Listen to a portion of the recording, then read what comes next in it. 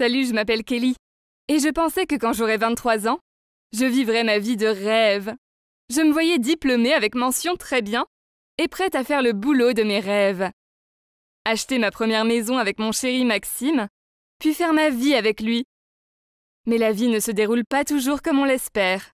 À l'université, je passais mon temps à m'amuser, au lieu de me concentrer sur les devoirs à rendre.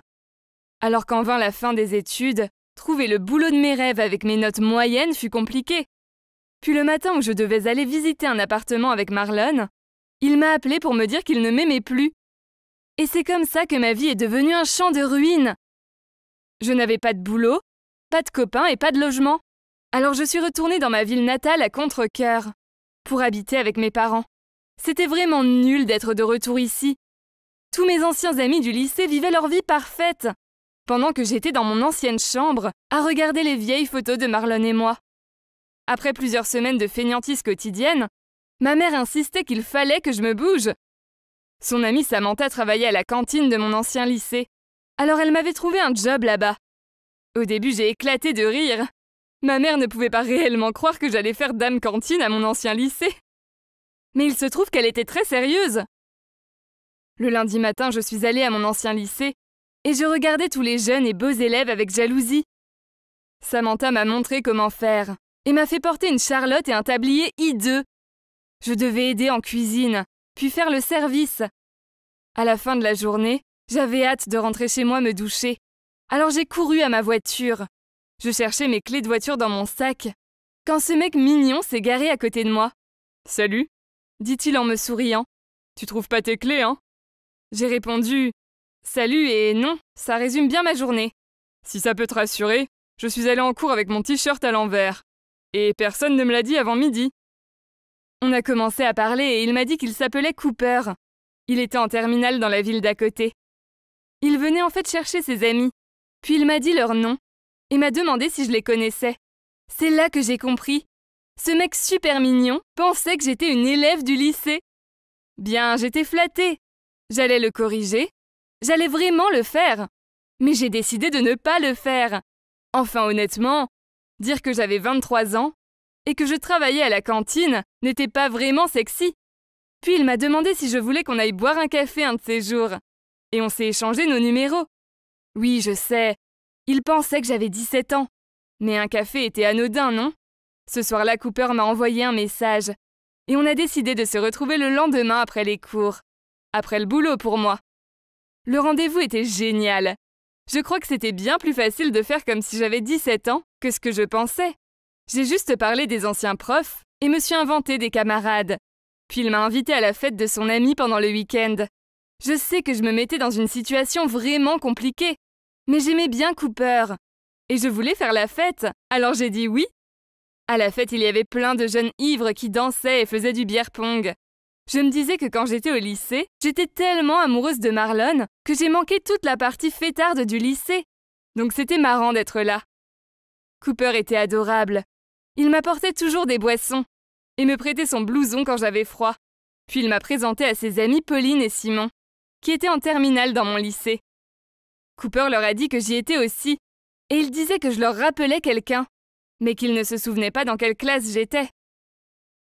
J'ai reconnu Pauline comme la fille embêtante, qui me demandait toujours la quantité de calories sur tout ce que je servais. J'imagine qu'elle ne m'a pas reconnue sans ma tenue de travail. Heureusement. Puis Simon m'a demandé en quelle classe j'étais. J'ai paniqué et j'ai dit le nom de mon ancienne prof. Madame Chérich. Elle n'est pas en congé maternité? demanda-t-il. Non, idiot, c'est Madame Harris, dit Pauline en lui tapant le bras. Je me sentais soulagée du moins jusqu'à ce que Pauline me demande de manger avec eux lundi. Comment pouvais-je travailler et manger avec eux en même temps? Quel désastre Je savais que je ne pourrais pas continuer. Donc quand Cooper m'a emmené à l'extérieur, j'ai décidé de lui dire la vérité. Mais avant que je puisse dire quoi que ce soit, il m'a dit qu'il m'appréciait vraiment et s'est penché pour m'embrasser. Il embrasse tellement bien. Je ne pouvais pas lui dire la vérité maintenant. De retour au boulot le lundi, j'ai supplié Samantha de me laisser en cuisine. Mais elle a dit qu'il fallait que je m'habitue à être au service. J'ai totalement paniqué quand j'ai vu Pauline et Simon dans la queue. Alors quand ils se sont rapprochés, J'ai fait semblant d'avoir une crise d'éternuement pour avoir une excuse pour aller me cacher derrière. Puis j'ai envoyé un message à Cooper, en lui disant de m'excuser auprès de ses amis, car je ne les avais pas rejoints pour manger, parce que je faisais un jeûne et que j'évitais la cantine.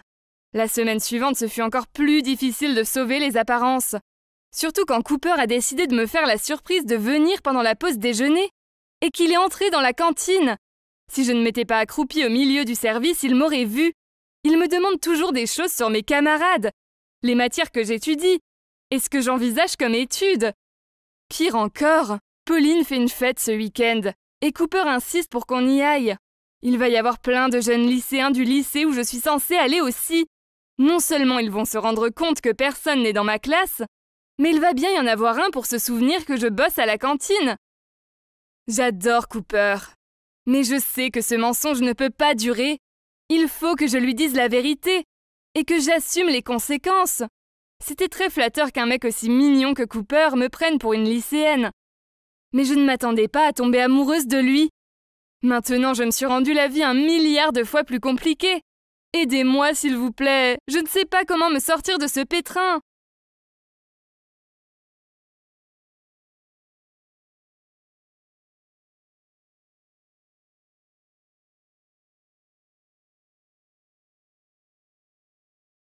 Salut les amis, c'est moi, Maxime. Je viens pour vous raconter la suite de mon histoire. D'abord, voilà un petit récap. Donc, mon ex Diane m'a trompé avec un imbécile de la fac, et ça m'a brisé le cœur. Alors j'ai décidé que si je n'étais pas heureux, les autres ne devraient pas l'être non plus. Donc, à l'approche de la Saint-Valentin, j'ai fait des blagues à des couples. Une de ces blagues m'a fait rencontrer Vanessa, puis je suis tombé amoureux d'elle. Le problème, c'est qu'elle a un copain et c'est un abruti, et le plus gros problème, c'est que j'ai découvert que c'est la petite sœur de mon ex. J'ai un peu dit à Vanessa quelques dures vérités à propos de sa sœur. Mais pour ma défense, je ne savais pas à ce moment-là qu'elles étaient sœurs. Au début, je n'avais aucune idée de comment gérer la situation. Alors j'ai décidé d'éviter tout le monde. Si je voyais Vanessa au lycée, je prenais une autre direction, vers les toilettes, je me cachais derrière quelqu'un en surpoids, vous voyez, tout pour ne pas avoir à l'affronter. Le problème, c'est qu'elle me manquait beaucoup trop. J'avais l'impression de ne pas pouvoir vivre sans elle. Alors peu importe les conséquences, il fallait agir maintenant. Alors je suis allé la voir au déjeuner et je lui ai dit que je l'évitais car je ne supportais pas de la voir mal à cause de son copain, qu'il ne la méritait pas et qu'il avait tort de la frapper, et qu'elle devait partir tant qu'il est encore temps. Puis je lui ai dit que je serais toujours là pour elle, et peut-être plus que comme un ami. Elle semblait touchée. Elle savait que leur couple avait beaucoup de problèmes, mais a avoué qu'elle se voilait la face. Elle m'a pris la main en me disant qu'elle avait aussi des sentiments pour moi, mais qu'il fallait d'abord s'occuper de son copain. Ah, son copain Colin. C'était un mec impulsif qui résout tout par un coup de poing. Il n'accepterait jamais qu'elle rompe avec lui. Ça écorcherait trop sa fierté, et il se montrerait sûrement violent envers elle. Et pour être honnête, je suis plutôt lâche. Je ne pourrais pas la protéger dans cette situation. S'il savait qu'elle le quittait pour moi, alors je serais un homme mort. Alors j'y ai beaucoup réfléchi. Et puis voilà, j'ai trouvé un plan parfait. S'il ne supportait pas que Vanessa le quitte, il fallait que lui la quitte. Waouh, je suis un génie, non? Le lendemain, j'ai parlé du plan à Vanessa. C'est simple. Elle doit juste avoir l'air négligée, puer et être moche à ses yeux pour qu'il en ait marre. Quand elle a entendu ça, elle n'était pas surprise et a dit C'est tellement gênant, je ne peux pas faire ça. Aucune fille ne veut avoir l'air de rien. Je lui ai dit qu'elle aurait juste besoin de faire ça avec lui. Et puis, puisqu'il est dans un autre lycée, elle pouvait toujours être jolie comme à son habitude en cours. Elle a fini par accepter. Et comme je l'avais imaginé, après quelques semaines à faire semblant d'être moche, Colin en a eu marre et a rompu. Vanessa est venue chez moi pour me dire la nouvelle avec enthousiasme. Elle était allée chez Colin sans maquillage, avec un t-shirt large taché, les cheveux décoiffés et sans se laver les dents. Puis quand il avait rompu avec elle, elle a fait semblant de pleurer. Ha ha Je n'arrive pas à croire que cette jolie fille était aussi bonne comédienne. Puis j'ai saisi l'occasion. Je lui ai demandé d'être ma petite amie et évidemment elle a dit oui. Puis on s'est embrassé et c'était génial. Elle embrassait beaucoup mieux que sa sœur. Au début, on cachait notre relation. Elle était d'accord car elle ne voulait pas s'afficher avec moi devant Colin. Et moi, ça m'arrangeait car je ne voulais pas que Diane la prenne. Puis, après un mois ensemble, elle m'a dit cash. Je veux que tu rencontres ma sœur. Elle est à la fac et vit dans une autre ville, mais en ce moment, elle est à la maison pour les vacances. Il faudrait que je te présente à elle en premier, puisqu'on ne sait pas quand elle va repartir. J'aurais pu crier, mais au lieu de ça, je gardais mon calme et je lui ai demandé de voir une photo d'elle. Puis, en la regardant, j'ai fait mine d'être choqué en disant que c'était la fille qui venait me chercher au collège et que j'étais encore traumatisé, que c'était les pires années de ma vie. Enfin, je ne connaissais pas vraiment Diane quand j'étais au collège, sûrement parce qu'elle avait un an de plus que moi, mais Vanessa ne le savait pas. Vanessa se sentait mal pour moi et a dit qu'elle ne connaissait pas ce côté-là de sa sœur. Elle a dit que c'était vrai que Diane était un peu grincheuse au collège, mais qu'elle pensait que c'était juste la puberté. Elle n'avait jamais vraiment réalisé que c'était une fille méchante, surtout avec quelqu'un de plus petit. À ce moment-là, j'aurais très bien pu tourner dans un feuilleton tellement je jouais bien mon rôle. J'ai dû avoir l'air désemparé car elle m'a dit que ce n'était pas grave et qu'elle ne parlerait plus à Diane jusqu'à ce que je le veuille. Ça réglait le problème de mon ex. Pour l'instant. Mais ça ne réglait pas le problème de Colin, car il avait découvert que j'étais avec Vanessa, et il n'était pas content. J'imagine que Colin avait suivi Vanessa et nous avait vus ensemble. Puis il m'avait suivi chez moi, car ce fou est venu chez moi et m'a crié de ne pas m'approcher d'elle. Bon, je ne pouvais pas lui en vouloir. Personne n'aime le nouveau partenaire de son ex. Non seulement ce fou sait où j'habite, mais maintenant ma sœur Clara est au courant de ma relation avec Vanessa. Puisqu'elle m'en veut toujours de ma blague de la Saint-Valentin, petit récap, c'était avec elle, son copain et beaucoup de scotch. Alors je n'étais pas très surpris quand elle m'a souri en me disant Tu verras, je n'ai pas oublié ce que tu m'as fait le jour de la Saint-Valentin. Maintenant, c'est l'occasion de me venger. J'ai répété ces mots en me moquant pour l'embêter, mais honnêtement, au fond de moi, ça m'inquiétait. C'était une blagueuse autant que moi. Maintenant, il faudra toujours que je sois sur mes gardes. Après ça, ma sœur et Colin semblaient ruiner nos rendez-vous à tour de rôle. Mince quoi, il n'avait rien d'autre à faire. Une fois, j'embrassais Vanessa dans le jardin, quand soudainement de l'eau est tombée de nulle part. On était complètement trempés. J'ai regardé autour et j'ai vu ma sœur sur le balcon de l'étage avec un seau vide. Elle a dit Oups, je voulais juste arroser les fleurs. Puis, à une soirée cinéma, Colin s'est pointé pour voir le même film, il s'est assis juste derrière nous et n'arrêtait pas de donner des coups dans le siège. Il m'a même lancé du popcorn. Plus tard, je suis rentré et j'ai regardé la capuche de mon suite. Il y avait plein de détritus et assez de popcorn pour mon prochain rencarciné. Quel gamin C'était des futilités, mais ça commençait vraiment à m'agacer. Puis, à notre anniversaire de nos deux mois ensemble, j'ai dit à Vanessa de se faire belle, puis je l'ai emmenée dans un restaurant italien chic. Le repas était super jusqu'à ce que je veuille prendre mon portefeuille dans ma poche pour payer. Je fus choqué qu'une photo d'une fille en bikini tombe du ciel. J'étais si choqué que je restais figé et confus.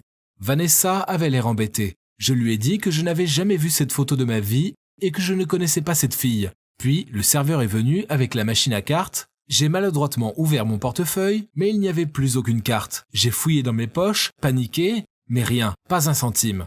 Rongé de honte, j'ai marmonné que je n'avais pas d'argent sur moi. C'était le pire moment de ma vie. Je pensais que j'allais perdre ma copine et que je devrais faire la plonge. Mais ensuite, j'ai entendu une dispute dehors. Vanessa, le serveur et moi regardions par la fenêtre. C'était ma sœur et Colin qui se criaient dessus. On est sorti pour écouter la conversation. Il se trouve que ma sœur avait sorti toutes les cartes de mon portefeuille pour que je ne puisse pas payer. Elle nous avait observés et épiés toute la soirée depuis la fenêtre en attendant le moment où elle verrait ma mine défaite en voyant que mes cartes avaient disparu. Mais elle fut déçue car ça ne s'est pas passé comme prévu, puisque je me disputais avec Vanessa à cause d'une photo stupide. C'est là qu'elle a regardé le mec fou à côté d'elle qui était mort de rire d'avoir réussi son coup. Vous vous doutez de qui il s'agit. Le mastermind derrière cette blague de la photo du bikini. Clara était énervée et a commencé à se disputer avec Colin car elle trouvait que sa blague était tombée à l'eau et ça ne lui faisait pas plaisir.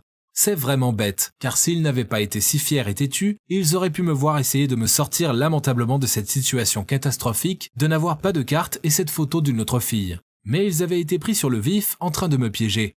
Vanessa a désigné Colin et a dit au serveur Il va payer notre repas. Puis elle m'a pris le bras et m'a emmené ailleurs.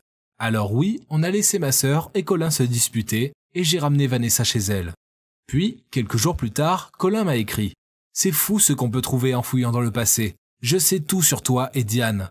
Arrange-moi un rencard avec ta sœur ou sinon je dis tout à Vanessa. Mince. Qui aurait cru qu'après ce stupide incident, ce fou de Colin aurait des sentiments pour ma sœur diabolique? Paniqué, j'ai répondu que ma sœur avait déjà un copain. Et sans surprise, Colin se fichait de ce détail. Il m'a dit un endroit et une heure et a dit que ma sœur ferait mieux d'y être, sinon il ne dirait pas seulement à Vanessa pour Diane, il me gâcherait aussi la vie à 100%. Oh my god, que dois-je faire maintenant? Dois-je vraiment organiser un rencard entre ma petite sœur et ce fou de Colin? Bon, oui, elle n'est pas vraiment saine d'esprit non plus, mais c'est quand même ma sœur. Mais si je refuse de l'aider, qui sait ce qui va m'arriver demain? Enfin, je ne veux pas que Vanessa sache pour Diane, et je ne veux pas me faire tabasser. Je suis tellement perdu. Ça me tue.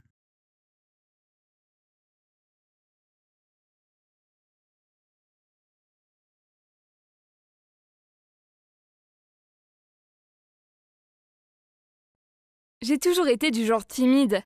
Je n'avais pas beaucoup d'amis. Et quand ma mère s'est remariée et que nous avons déménagé dans une nouvelle ville, j'ai dû commencer dans une nouvelle école. Personne ne m'a parlé la première semaine. Et je me suis sentie malheureuse. Pour ne rien arranger, le nouveau mari de ma mère était un salaud. J'étais obligée de souffrir de la servitude et du ridicule. Et parfois même il me touchait délibérément. Alors j'avais du mal à l'école et à la maison. J'ai été végétarienne toute ma vie. Et ma mère préparait toujours mon déjeuner. Elle était végétarienne aussi. Mais quand elle est partie en voyage d'affaires, mon nouveau beau-père m'a proposé de préparer mon déjeuner. C'était vraiment bizarre. Mais j'ai quand même pris la boîte à lunch qu'il m'avait préparée et je suis allée à l'école. Mais quand j'ai ouvert ma boîte à déjeuner, j'ai failli vomir.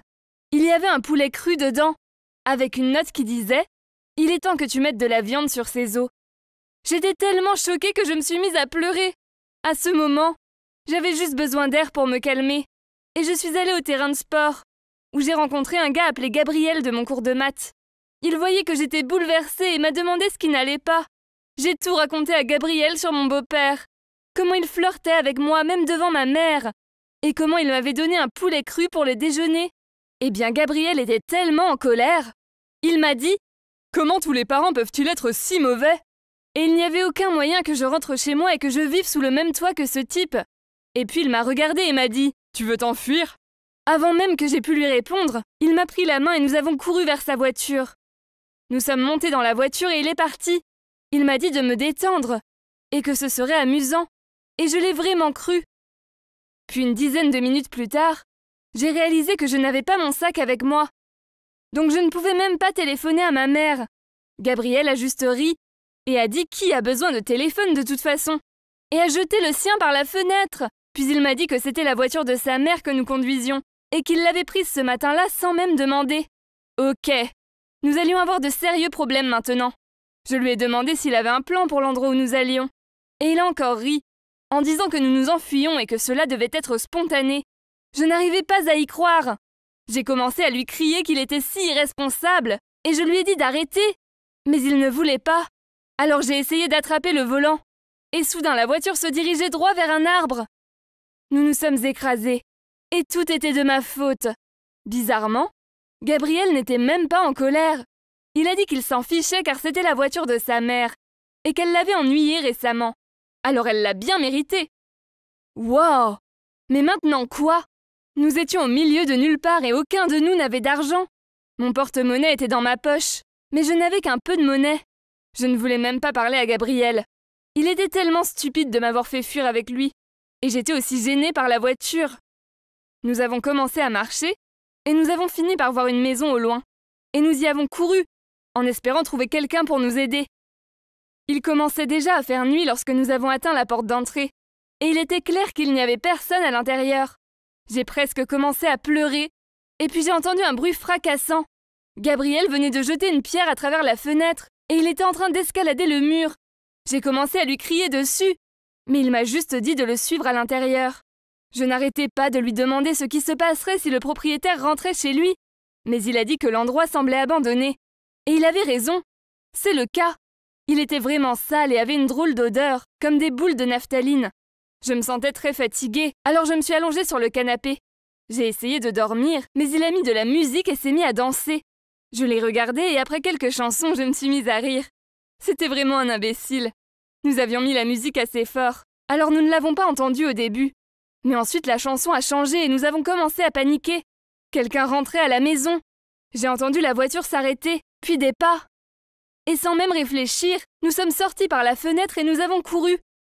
Nous n'avons même pas vu qui vivait là. Nous avons fini par dormir dans un champ et il faisait très froid. Je me suis tournée vers Gabriel et je lui ai dit que je me gelais. Et il s'est couché juste à côté de moi et m'a prise dans ses bras. Le matin au réveil, nous nous serrions encore dans les bras l'un de l'autre. Et c'est là que j'ai réalisé à quel point je l'aimais. En seulement 24 heures, il était passé du statut de parfait étranger à celui de quelqu'un que je pouvais sérieusement aimer. Mais j'avais tellement faim. que nous avons commencé à marcher à travers le champ en direction de la ville suivante. J'ai cherché mon porte-monnaie et j'ai réalisé qu'il n'était plus là. Puis j'ai compris. Je l'avais laissé sur le canapé de la maison où nous venions de nous introduire. Oh mon Dieu Non Je l'ai dit à Gabriel et il a commencé à flipper aussi. Mais il a dit qu'on ne pouvait pas revenir en arrière. C'était trop risqué. Toute la matinée, nous avons marché et marché.